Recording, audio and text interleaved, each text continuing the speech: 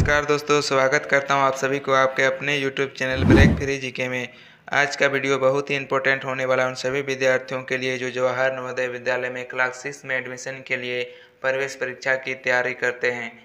या फिर आने वाले 29 अप्रैल 2023 को जो भी विद्यार्थी जवाहर नवोदय विद्यालय क्लास सिक्स में एडमिशन के लिए प्रवेश परीक्षा के एग्ज़ाम देने वाले हैं। नवोदय विद्यालय में क्लास सिक्स में एडमिशन के लिए कुल तीन पेपर से प्रश्न पूछे जाते हैं। पहला पेपर होता है मेंटल एबिलिटी, दूसरा पेपर होता है मैथमेटिक्स और तीसरा पेपर होता है लैंग्वेज। इसमें से सबसे अधिक प्रश्न पूछे जाते हैं मेंटल एबिलिटी से, जिसमें 40 प्रश्न होते हैं, जो 40 अंक के होते हैं। इस वीडियो में हम लोग चर्चा करने वाले हैं मेंटल एबिलिटी से, क्योंकि मेंटल एबिलिटी में कुल छः प्रकार के प्रश्न पूछे जाते हैं। यानी कि मेंटल एबिलिटी से कुल छः टाइप के प्रश्न बनते हैं और उन सभी टाइप को हम लोग विस्तार से जानेंगे। टाइप वन में आप लोगों को किस तरह से प्रश्न पूछे जाएँगे? जैसे आप देख सकते हैं, यहाँ पे एग्ज़ाम्पल के लिए दिया हुआ है चार आकृति, जो अलग अलग विकल्प है। इसमें एक विकल्प ए नाम दिया गया है, इसमें विकल्प बी नाम दिया गया है, इसमें विकल्प सी नाम दिया गया है, इसमें विकल्प डी नाम दिया गया है। इन चार आकृतियों में से तीन आकृति जो है ना, किसी न किसी तरह से एक समान रहेगी और एक आकृति बाकी तीन आकृतियों से सबसे अलग रहेगी। जो सबसे अलग रहेगी वही हमारा आंसर होगा। उस आकृति को हमें चुनना है जो सबसे अलग रहेगी और उसी को हमें ओ एम आर सीट पर आंसर के रूप में दर्शाना है। तो इन चारों आकृतियों में से कौन सी आकृति सबसे अलग है? ऑप्शन नंबर बी क्योंकि ऑप्शन नंबर बी में जो आकृति बनी है वह गोलाकार है, यानी कि वृत्त है, और बाकी की सभी आकृतियों को बनाने के लिए एक सीधी रेखा का प्रयोग किया गया है। इसलिए ऑप्शन नंबर बी सबसे अलग है, यही हमारा आंसर होगा।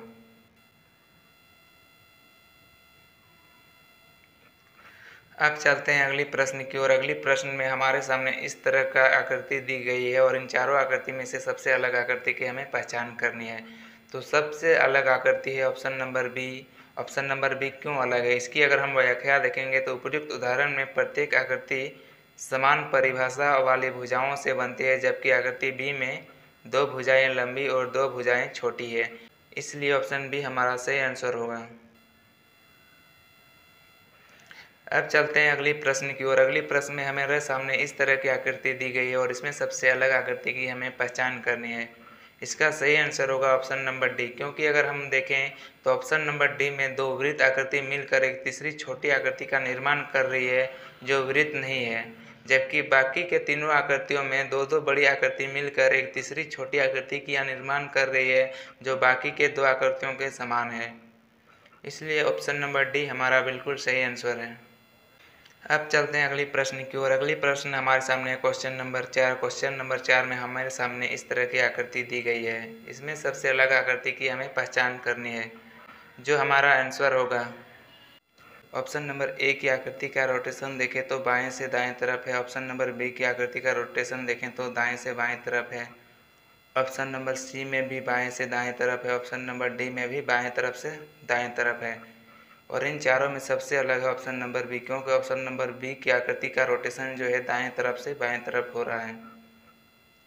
अब चलते हैं अगले प्रश्न की ओर। अगली प्रश्न हमारे सामने है क्वेश्चन नंबर पाँच। क्वेश्चन नंबर पाँच में हमें इस तरह की आकृति दी गई है और इन चारों आकृतियों में से सबसे अलग आकृति की पहचान करनी है। सबसे अलग आकृति option number B. Option number B की अगर व्याख्या देखें तो उपयुक्त उदाहरण में प्रत्येक आकृति में वृत्त जो है शीर्ष से तीर शीर्ष घड़ी की सुइयों के चलने के विपरीत दिशा में 135 डिग्री है, जबकि आकृति बी में वृत्त जो है शीर्ष घड़ी की सुइयों के चलने की दिशा में 135 डिग्री है। इसलिए ऑप्शन नंबर बी हमारा बिल्कुल सही आंसर होगा। अब चलते हैं अगले प्रश्न क्वेश्चन नंबर छः क्वेश्चन नंबर छः में हमें इस तरह की आकृति दी गई है और इन सभी में से सबसे अलग आकृति की पहचान करनी है। ऑप्शन नंबर ए की आकृति में तीन त्रिभुज दिया हुआ है, जबकि दो वर्ग हैं। ऑप्शन नंबर बी में देखें तो दो त्रिभुज है और तीन वर्ग है। ऑप्शन नंबर सी में दो वर्ग है और तीन त्रिभुज है। ऑप्शन नंबर डी में भी तीन त्रिभुज है और दो वर्ग है। यानी कि ऑप्शन नंबर बी हमारा बिल्कुल सही आंसर होगा, क्योंकि ऑप्शन नंबर बी में तीन वर्ग दिया गया है और दो त्रिभुज दिया गया है। अब चलते हैं अगली प्रश्न की ओर। अगली प्रश्न हमारे सामने है सात। इसमें हमें इस तरह की आकृति दी गई है और सबसे अलग आकृति की पहचान करनी है। इसमें सबसे अलग आकृति है ऑप्शन नंबर ए क्योंकि ऑप्शन नंबर ए में जो आकृति है वह त्रिभुजाकार है, जबकि बाकी के तीनों आकृतियों में देखें तो यह चतुर्भुज है। इसलिए ऑप्शन नंबर ए हमारा बिल्कुल सही आंसर होगा।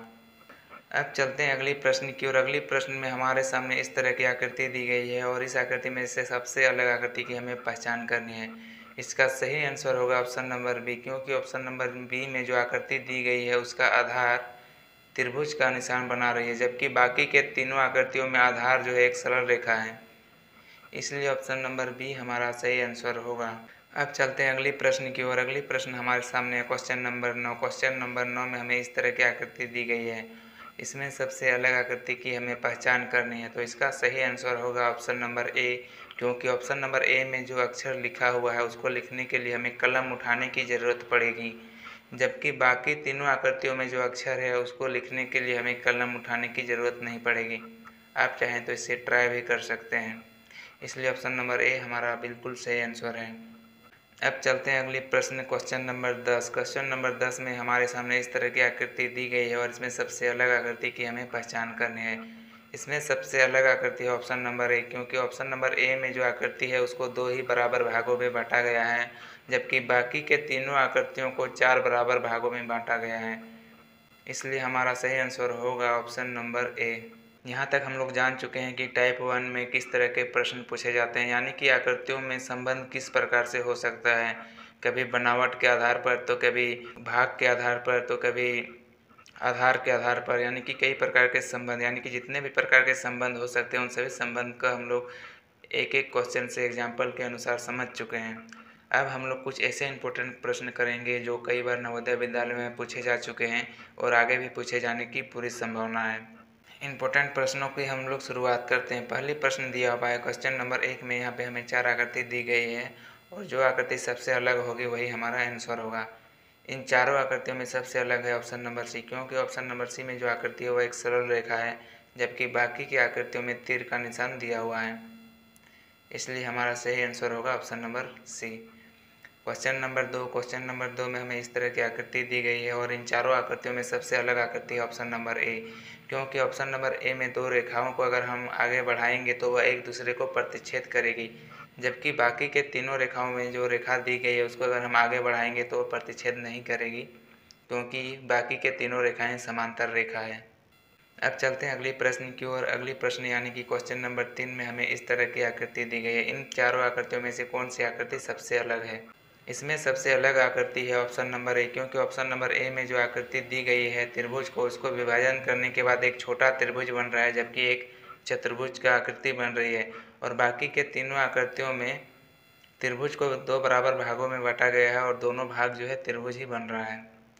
अब देखते हैं क्वेश्चन नंबर चार। क्वेश्चन नंबर चार में हमें इस तरह की आकृति दी गई है। इसमें सबसे अलग आकृति कौन सी है, उसकी हमें पहचान करनी है।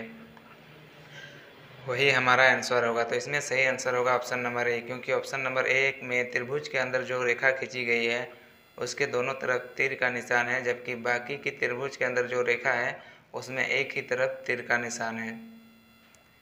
इसलिए हमारा सही आंसर होगा ऑप्शन नंबर ए अब चलते हैं क्वेश्चन नंबर पाँच। क्वेश्चन नंबर पाँच में हमें इस तरह की आकृति दी गई है और इसमें सबसे अलग आकृति की पहचान करनी है।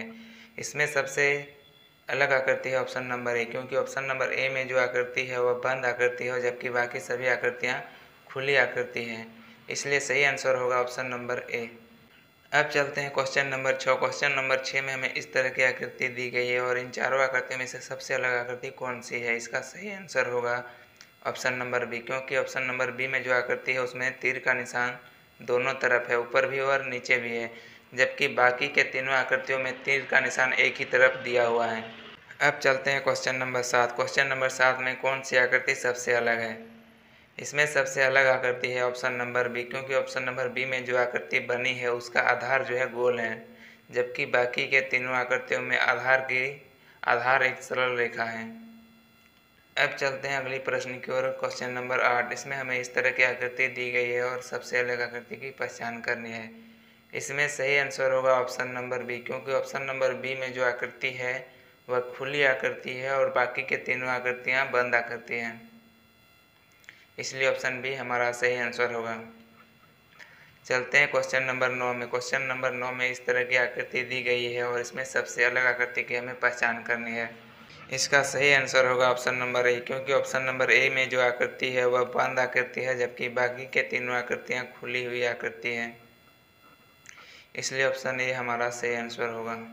अब चलते हैं क्वेश्चन नंबर दस। क्वेश्चन नंबर दस में हमें इस तरह की आकृति दी गई है और इसमें से कौन सी आकृति जो है सबसे अलग आकृति है इसमें सही आंसर होगा ऑप्शन नंबर बी क्योंकि ऑप्शन नंबर बी में जो आकृति है वह बंद आकृति है। अब चलते हैं अगली प्रश्न की ओर। अगली प्रश्न हमारे सामने है। क्वेश्चन नंबर ग्यारह। क्वेश्चन नंबर ग्यारह में हमें इस तरह की आकृति दी गई है और इसमें सबसे अलग आकृति की पहचान करनी है। इसका सही आंसर होगा ऑप्शन नंबर बी क्योंकि ऑप्शन नंबर बी में जो आकृति है वह बंद आकृति है। चलते हैं। क्वेश्चन नंबर बारह। क्वेश्चन नंबर बारह में हमें इस तरह की आकृति दी गई है और इसमें सबसे अलग आकृति कौन सी है? इसका सही आंसर होगा ऑप्शन नंबर बी क्योंकि ऑप्शन नंबर बी में जो आकृति दी गई है, क्योंकि ऑप्शन नंबर बी में जो आकृति दी गई है, उसमें तीर का निशान जो है दो सामने वाली रेखाओं में है और बाकी की आकृतियों में तीर का निशान दूर वाली रेखाओं पर दिया गया है। आप देख सकते हैं। इसलिए ऑप्शन नंबर बी हमारा सही आंसर होगा। अब चलते हैं अगले प्रश्न की और अगली प्रश्न हमारे सामने है क्वेश्चन नंबर तेरह और हमें इस तरह की आकृति दी गई है। इसमें सबसे अलग आकृति की हमें पहचान करनी है। इसका सही आंसर होगा ऑप्शन नंबर सी क्योंकि ऑप्शन नंबर सी में जो आकृति है, उसमें दो प्रकार की आकृति दी गई है, जबकि बाकी के तीनों आकृतियों में एक ही प्रकार की आकृति है। इसलिए ऑप्शन नंबर सी हमारा सही आंसर होगा। अब चलते हैं क्वेश्चन नंबर चौदह। क्वेश्चन नंबर चौदह में कौन सी आकृति जो है सबसे अलग आकृति है? इसमें सही आंसर होगा ऑप्शन नंबर ए क्योंकि ऑप्शन नंबर ए में जो आकृति बन रही है, वह दोनों रेखाओं से मिलकर एक कोण बना रही है, जबकि बाकी की आकृतियों में कोई भी कोण नहीं बन रहा है और एक ही आकृति है। चलते हैं अगले प्रश्न की ओर। क्वेश्चन नंबर पंद्रह। क्वेश्चन नंबर पंद्रह में कौन सी आकृति सबसे अलग आकृति है? इसमें सही आंसर होगा ऑप्शन नंबर बी क्योंकि ऑप्शन नंबर बी में जो आकृति है, वह बाकी आकृतियों से सबसे अलग है। और बाकी के तीनों आकृतियाँ एक ही प्रकार की है, जिसको ऊपर नीचे घुमा कर दिया गया है। अब चलते हैं क्वेश्चन नंबर सोलह। क्वेश्चन नंबर सोलह में से कौन सी आकृति सबसे अलग है? इसका सही आंसर होगा ऑप्शन नंबर सी क्योंकि ऑप्शन नंबर सी में जो आकृति बनी गई है, उसको तीन बराबर भागों में बांटा गया है। और बाकी की सभी आकृतियों को तीन बराबर भागों में नहीं बांटा गया है, इसलिए ऑप्शन सी हमारा सही आंसर होगा। अब चलते हैं अगली प्रश्न क्वेश्चन नंबर सत्रह में। क्वेश्चन नंबर सत्रह में कौन सी आकृति जो है सबसे अलग है? इसका सही आंसर होगा ऑप्शन नंबर बी क्योंकि ऑप्शन नंबर बी में जो आकृति है उसको बराबर भागों में नहीं बांटा गया है। बाकी के तीनों आकृतियों को तीन बराबर भागों में बांटा गया है। अब चलते हैं क्वेश्चन नंबर अठारह। क्वेश्चन नंबर अठारह में सबसे अलग आकृति है ऑप्शन नंबर बी क्योंकि ऑप्शन नंबर बी में जो आकृति के बीच रेखा खींची गई है, वह सीधी रेखा नहीं है, जबकि बाकी की सभी आकृतियों में सीधी रेखा खींची गई है।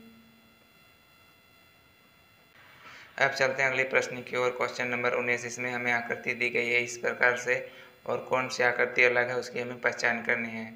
इसका सही आंसर होगा ऑप्शन नंबर ए क्योंकि ऑप्शन नंबर ए में जो आकृति है, वह चतुर्भुज है, और बाकी की तीनों आकृतियाँ त्रिभुज हैं। चलते हैं अगले प्रश्न क्वेश्चन नंबर बीस में। क्वेश्चन नंबर बीस में कौन सी आकृति सबसे अलग है? इसका सही आंसर होगा ऑप्शन नंबर ए क्योंकि ऑप्शन नंबर ए में जो आकृति है, उसको सीधी रेनों से खींचकर बांटा गया है, जबकि बाकी के तीनों आकृतियों में तिरछी लाइन खींचकर बांटा गया है। अब चलते हैं अगली प्रश्न की ओर। अगली प्रश्न हमारे सामने क्वेश्चन नंबर 21 क्वेश्चन नंबर 21 में हमें इस तरह की आकृति दी गई है और कौन सी आकृति सबसे अलग है, उसकी हमें पहचान करनी है। इसका सही आंसर होगा ऑप्शन नंबर सी क्योंकि ऑप्शन नंबर सी में जो आकृतियों के बीच में सबसे छोटी आकृति है, वह इसमें त्रिभुज है और बाकी की सभी तीनों आकृतियों में एक गोल निशान दिया हुआ है। अब चलते हैं अगली प्रश्न क्वेश्चन नंबर बाईस में। क्वेश्चन नंबर बाईस में कौन सी आकृति सबसे अलग है? इसमें सही आंसर होगा ऑप्शन नंबर ए क्योंकि ऑप्शन नंबर ए की आकृति जो है, एक ही आकृति है, इसको बांटा नहीं गया है, जबकि बाकी के आकृतियों को बांट दिया गया है। इसलिए ऑप्शन नंबर ए हमारा बिल्कुल सही आंसर होगा। अब चलते हैं क्वेश्चन नंबर तेईस। इसमें से कौन सी आकृति जो है सबसे अलग आकृति है? इसका सही आंसर होगा ऑप्शन नंबर डी क्योंकि ऑप्शन नंबर डी की आकृति को बांटा नहीं गया है। अब चलते हैं अगली प्रश्न क्वेश्चन नंबर चौबीस। क्वेश्चन नंबर चौबीस में कौन सी आकृति जो है सबसे अलग है? इसमें सही आंसर होगा option number C option number C में जो आकृति है, उसको कई भागों में बांटा गया है। जबकि बाकी के विकल्पों में जो आकृति दी गई है, उसको बांटा नहीं गया है। अब चलते हैं अगली प्रश्न। क्वेश्चन नंबर पच्चीस। क्वेश्चन नंबर पच्चीस में कौन सी आकृति सबसे अलग है? इसका सही आंसर होगा ऑप्शन नंबर सी क्योंकि ऑप्शन नंबर सी में जो आकृति है, उसको तीन भागों में बांटा गया है, जबकि बाकी के तीनों विकल्पों में आकृति को दो ही भागों में बांटा गया है। अब चलते हैं अगले प्रश्न की ओर। प्रश्न संख्या छब्बीस। इसमें से कौन सी आकृति सबसे अलग है? इसका सही आंसर होगा ऑप्शन नंबर सी क्योंकि ऑप्शन नंबर सी में जो आकृति दी गई है, वह मिला हुआ नहीं है, यानी कि अलग अलग है। और बाकी के विकल्पों में आकृतियाँ मिला हुआ है, सटा हुआ है, इसलिए बाकी की आकृतियाँ एक ही है ऑप्शन सी के अलावा। अब चलते हैं अगली प्रश्न क्वेश्चन नंबर सत्ताईस। क्वेश्चन नंबर सत्ताईस में हमें इस तरह की आकृति दी गई है, और कौन सी आकृति सबसे अलग है, उसकी हमें पहचान करनी है। इसमें सही आंसर होगा ऑप्शन नंबर बी क्योंकि ऑप्शन नंबर बी में जो आकृति है, वह खुली हुई आकृति है और बाकी के तीनों आकृतियाँ बंद आकृति हैं। अब चलते हैं अगले प्रश्न क्वेश्चन नंबर अट्ठाईस। क्वेश्चन नंबर अट्ठाईस में कौन सी आकृति जो है सबसे अलग है? इसमें सही आंसर होगा ऑप्शन नंबर ए क्योंकि ऑप्शन नंबर ए में जो आकृति है वह बड़ी वाली आकृति गोलाकार है तो छोटी वाली आकृति भी गोलाकार है। जबकि बाकी के तीनों आकृतियों में जो आकृति बाहर में है, वह आकृति अंदर में नहीं है। अंदर में अलग आकृति है, इसलिए ऑप्शन नंबर ए हमारा बिल्कुल सही आंसर होगा। अब चलते हैं अगली प्रश्न क्वेश्चन नंबर उनतीस। क्वेश्चन नंबर उनतीस में कौन सी आकृति सबसे अलग आकृति है? इन चारों आकृतियों में से। तो इसका सही आंसर होगा ऑप्शन नंबर सी क्योंकि ऑप्शन नंबर सी में दो तरह की आकृति है, एक चतुर्भुज है और एक त्रिभुज है, जबकि बाकी की तीनों आकृतियों में जो आकृति बड़ी वाली है, वही आकृति छोटी वाली है। अब चलते हैं अगली प्रश्न क्वेश्चन नंबर तेईस। क्वेश्चन नंबर तेईस में हमें इस तरह की आकृति दी गई है और इनमें से कौन सी आकृति जो है सबसे अलग है? इसमें सही आंसर होगा ऑप्शन नंबर सी क्योंकि ऑप्शन नंबर सी में जो आकृति है, उसको बराबर भागों में नहीं बांटा गया है, जबकि बाकी के तीनों आकृतियों को दो बराबर भागों में बांटा गया है। अब चलते हैं अगले प्रश्न क्वेश्चन नंबर इकतीस। क्वेश्चन नंबर इकतीस में कौन सी आकृति सबसे अलग है? इसका सही आंसर होगा ऑप्शन नंबर डी क्योंकि ऑप्शन नंबर डी में जो आकृति है, उसको चार बराबर भागों में बांटा गया है, जबकि बाकी के तीनों आकृतियों को दो ही बराबर भागों में बांटा गया है।